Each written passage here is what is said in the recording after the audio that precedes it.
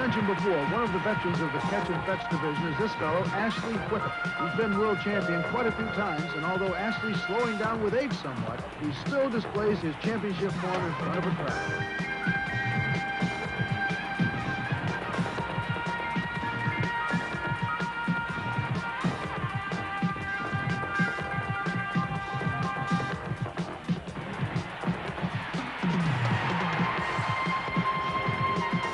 Selecting a canine safe disc. Stay away from human and promotional discs that are made from a hard, rigid plastic that tends to crack, leaving sharp edges that may leave tongue and mouth injuries on your dog. Dog safe discs are made of a softer plastic that is more pliable and bendy with a rounded rim. Choose a disc that is appropriate size and weight for your dog.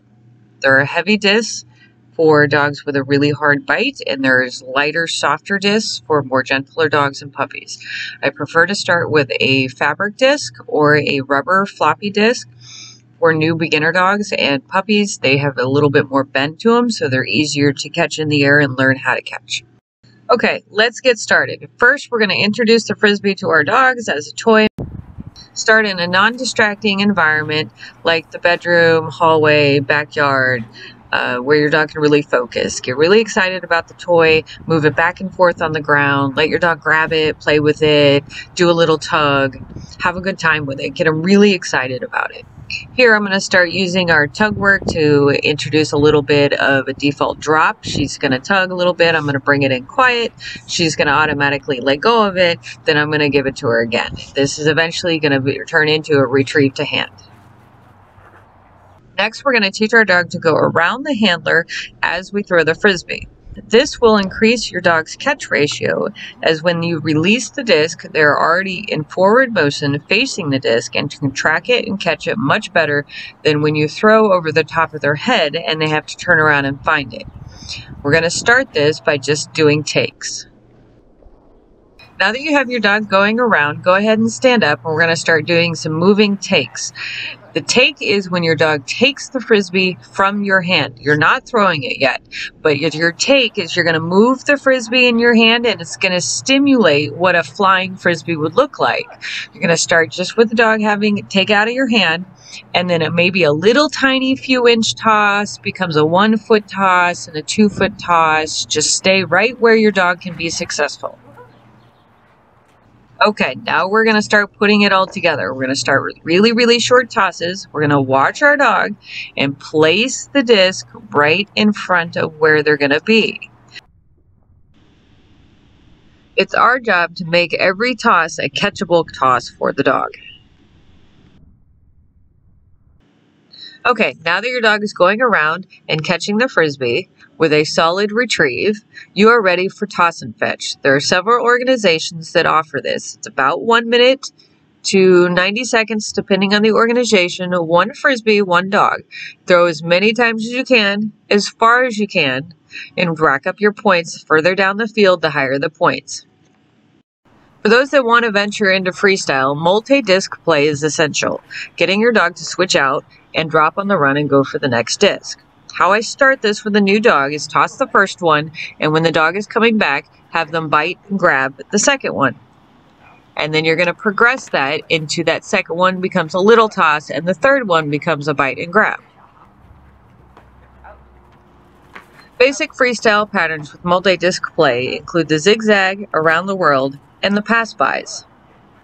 This is where the dog is catching multiple frisbees in a pattern, dropping on the run, and continuing the line that they're on for the next catch.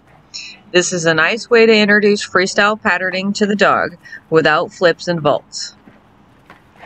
The judges like to see creative tosses, so every time you toss the disc, make sure your release is different. Everybody wants to learn the flip. The first step is to get your dog lined up in front of you. The arc that you're going to release your frisbee in is from their shoulder to their hip. Every dog is different. You'll have to find the little sweet spot. Overs are different than vaults because in an over, the dog is not actually touching you. Present the frisbee before the obstacle for the over. For a knee vault, make sure you use the knee closest to the dog and that you're lean back, not in the way. First, just do a take. Have the dog take it out of your hand and have it far enough away from your body, at least the length of your dog. Here we're going to use a platform to teach the vault using a take.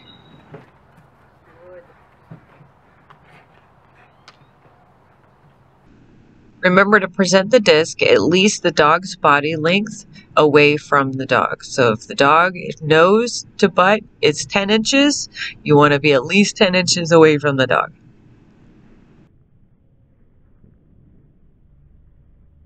Now we're going to start the dog on the ground just before the platform, maybe a body length or two away from the platform so they can start getting their feet underneath them while they're jumping for the frisbee. Now you can start letting go of the disc right as the dog gets there, creating a little teeny tiny toss. I like vaults to be more Superman style, not necessarily height. Create a nice, safe vault for your dog and a safe landing.